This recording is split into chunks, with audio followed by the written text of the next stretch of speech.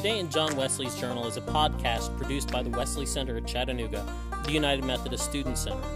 In this podcast, we will learn about early Methodism by following John Wesley through his journal as he and others begin a movement that would give rise to the Methodist Church in all its forms.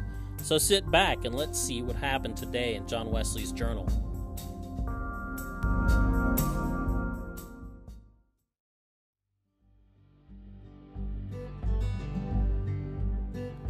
Welcome back to Today in John Wesley's Journal for November 21st, 1735.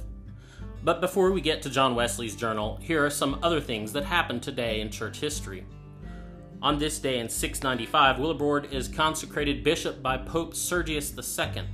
He will go on to evangelize that part of Europe now covered by the Netherlands and part of northern Germany. Willibrord and his buddies called it Frisia in their day. In 1430, the Burgundians literally sell out Joan of Arc, giving her to the English. Joan of Arc would later be canonized by the Roman Catholic Church in 1920. In 1638, an assembly meeting at Glasgow rejects the episcopal form of church government. This was an outgrowth of the ongoing fight over Scottish sovereignty.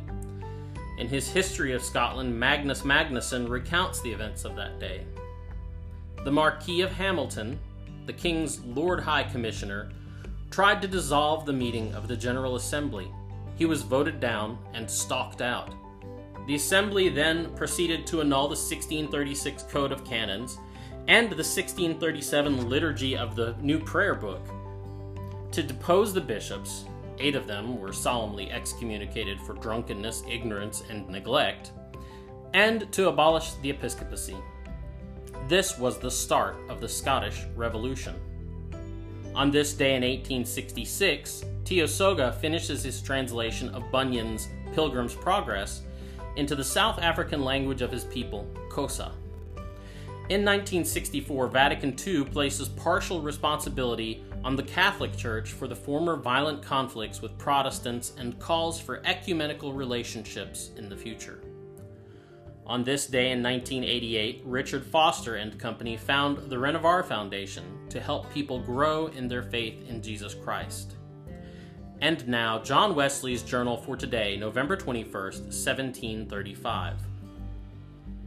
One recovering from a dangerous illness desired to be instructed in the nature of the Lord's Supper.